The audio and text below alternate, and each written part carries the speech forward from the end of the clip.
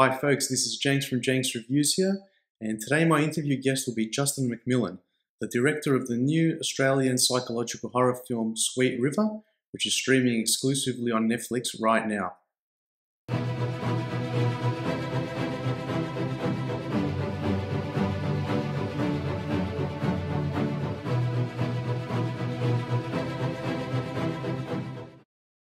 Hi, Justin. How are you, mate?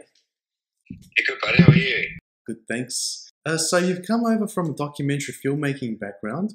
What would you say is the biggest challenge that you faced moving from documentary filmmaking over to narrative feature filmmaking? The money to make a film and, and the effort and everything that's in and around it required. Like, I don't, I don't think first time filmmakers get a shot unless yes. you go and make your own film, basically. Right. I think you'd have to be pretty bloody lucky to be attached to you know a, a, solid script with a with a solid amount of money. Yeah. Um, having having not done one before. So now that you've directed both a documentary film and a narrative feature film, do you have a preference between the two? I just I was always after becoming a, a narrative feature filmmaker, and um, that's what I wanted to do. I love the idea of going back to documentary. Um, every now and then, I think I think that's um, that's something that you know, if, if it worked out that way, that that'd be fun the right subject matter to do it. So, as well as directing the film, you also wrote the story for Sweet River. What was your inspiration behind the story there?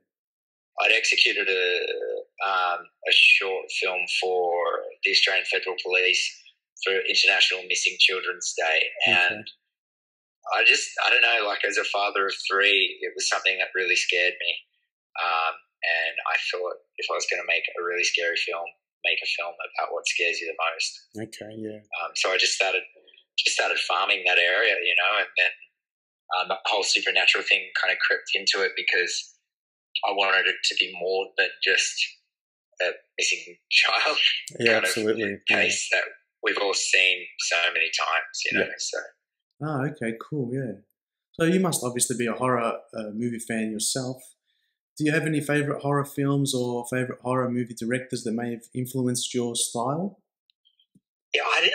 I like. I mean, I watched as many like all the classics, all the horror films growing up and stuff. But yeah. as I got older, I sort of didn't really like. I just didn't really rate them that much. Like I, yeah. I did. I there was some really good scares in a couple of films, and I was like, oh, okay, I can see why people are getting into it because it, it, it gets it gets the juice just going. You know, it, kind of it isn't just a typical story experience. But yeah.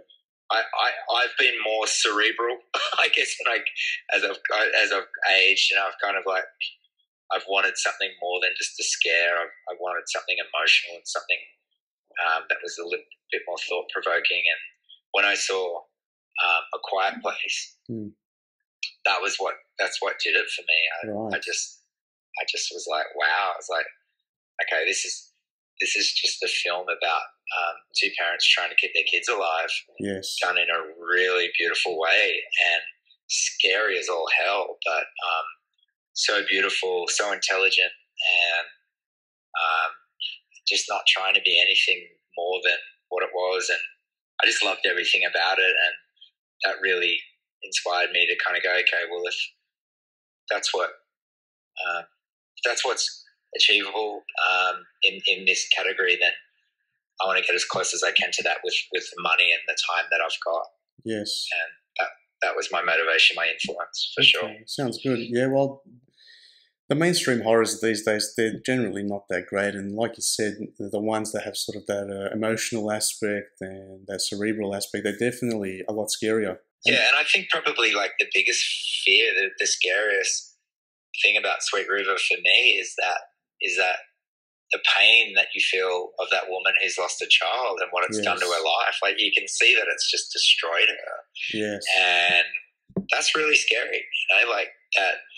I mean, having a child, um, and and oh, it's like anyway, I guess anyone that's really close to you, a loved one, that that fear of losing that loved one is is something that is universal, and we all have that. We all have that fear, and I think this film just brings that to the surface and presents it to the audience in a really interesting way. So I like that. I like that about the story. Yes, definitely. Uh, the film tackles some heavy themes such as dealing with the loss of a loved one, and grief and how people cope with it. Uh, what was the mood like on the set, and especially when filming those more emotionally dramatic scenes?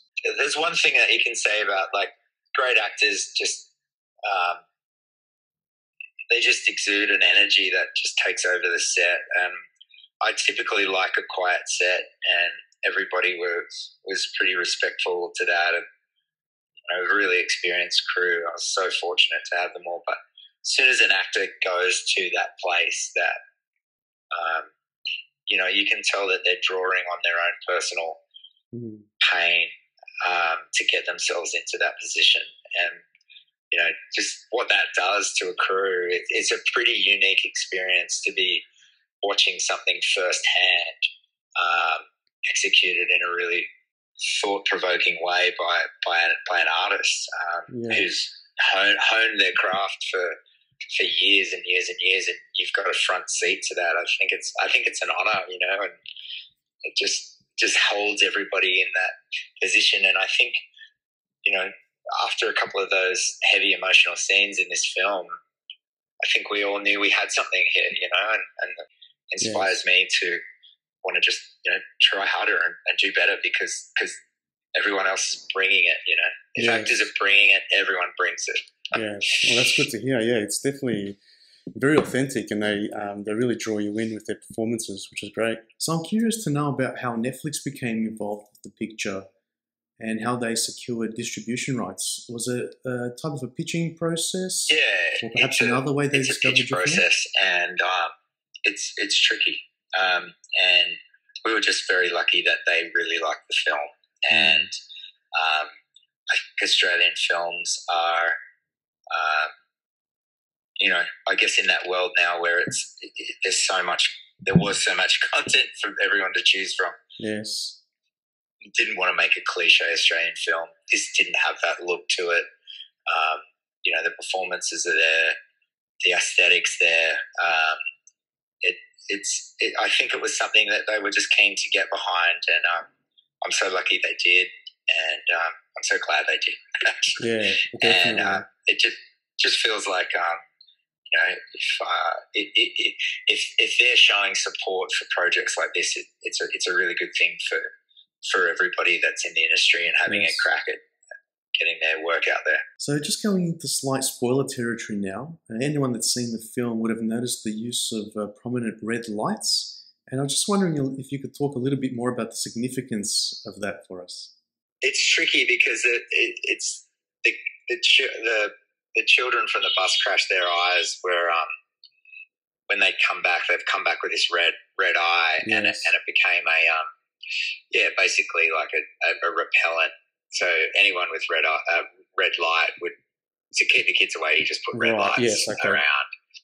So that that was it. But I, yeah. I don't know. We'd sort of buried it deep in there, and I was kind of keen to make it a bit more explicit. And a few people had sort of said, "Nah, don't worry about it. You don't mm. you don't need it." But but um, turns out we did.